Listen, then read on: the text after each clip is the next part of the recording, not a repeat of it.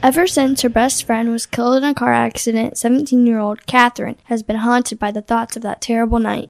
So, when on a visit to her grandmother's church, Catherine meets a handsome young stranger who tells her he can channel the dead. She's eager for him to put her in touch with her lost friend in hopes that she can finally put her mind at ease. But the stranger may not be all that he appears. Catherine is the only one who seems to notice when he's around, and an elderly woman warns her to stay away from the church where she meets with him. Most alarming of all, he seems to be connected to a number of girls who have mysteriously disappeared, and they all bear a striking resemblance to Catherine. Despite her misgivings, Catherine is desperate for the stranger to help her make contact with her dead friend. Will she risk meeting him, even if it means putting her own life in danger? I'd come to California to spend Christmas with my grandmother because she'd written and invited me to be with her while my mom and dad were in Europe. She'd love to have me, she'd said, and they'd probably thought it would be wonderful me, and they'd probably thought it would be wonderful for me to get away from home, away from Chicago and all its heartache. Dr. West might have even suggested it. A change would be the best thing for her, she would have said. She was probably right. So here I was. It was my first day, and although it wasn't Sunday, I'd come to the church with Grandma because she volunteers in the office and she refused to leave me alone. So she was in the office with three other volunteers, typing the church bulletin on the church's new iMac. She'd introduced me to her coworkers, and I had repeated the names to myself so I'd remember them. Now I was up in the gallery exploring. The gallery wasn't used these days since the congregation had shrunk. By the look of it, it wasn't cleaned very often either. I was standing, looking down, fighting a sneeze, when a soft voice spoke right next to me. Catherine! I gave a startled yelp and jumped sideways. Hey! I spun around. I thought I was alone, and I was. There was nobody. But I'd heard my name. Who's there? My voice was wobbly. I went up a step and looked along the length of the next pew, wall to wall, empty. But there had to be somebody. Silence pressed around me. Was someone lying down along the floor out of sight? I didn't want to walk all the way up to the last row. What if the someone reached out, grabbed my ankle, and pulled me down? Only silence. In a rush now, I started towards the stairs that led back down to the vestibule below.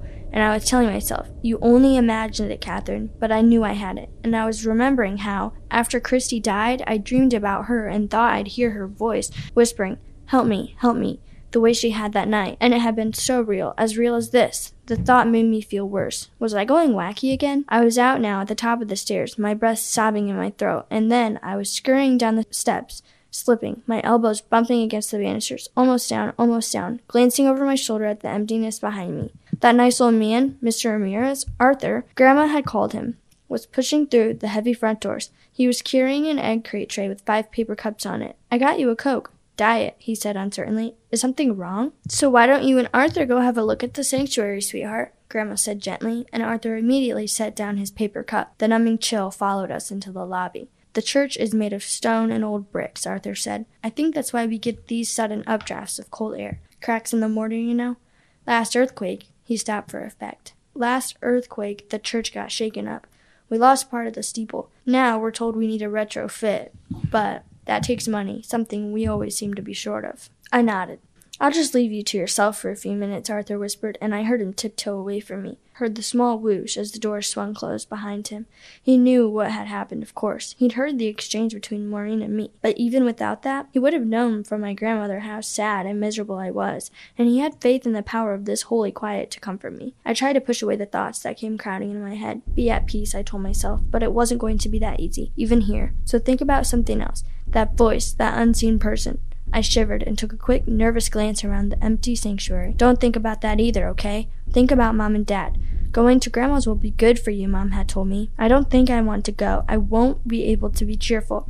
It's so rotten to be leaving you at Christmas, Mom said. You know we tried to turn it down, but Dad's firm, well, anyway. She's added vaguely. Dr. West thinks it will be for the best. Dad stroked my hair. Grandma won't expect you to be cheerful. You'll be comfortable with her, the way you always are. My mind jumped to the drive through the early morning streets of Chicago. Snow piled up, dirty on the sides of the state street, Christmas banners blowing in the frigid wind, the plane, the delay while they defrosted the wings, and then defrosted them again. Grandma waiting for me at the airport in Los Angeles, driving me through the city, where there was no snow, only palm trees and traffic and bustle and sunshine. Same world, I thought, just different. Better for me for a while. My legs ached where they had been broken, and I realized I'd slipped onto my knees. I straightened and rubbed at the pain. My chest ached too where my ribs had cracked. I concentrating on slowing my breathing. Catherine! Such a soft voice. Gentle. I jerked upright, holding onto the seat in front. Same voice. Same. My heart began a slow, steady thumping. It must be someone carefully hidden. Please, please don't do this to me, I whimpered, but my words seemed to fall one by one, soundlessly in the empty space. I clawed my way out of the pew. Thank you for enjoying this story, The Presence by Eve Bunting, adapted by Ava Grant. If you enjoyed this story, you can find more stories like this one and other projects from our media studios. Search for our channel called WJHS Studios.